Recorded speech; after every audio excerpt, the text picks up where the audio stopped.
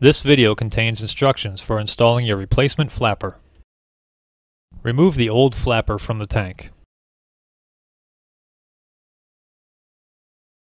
Next, install the new flapper hinge by pressing down firmly. Now install the hinge mounting screw.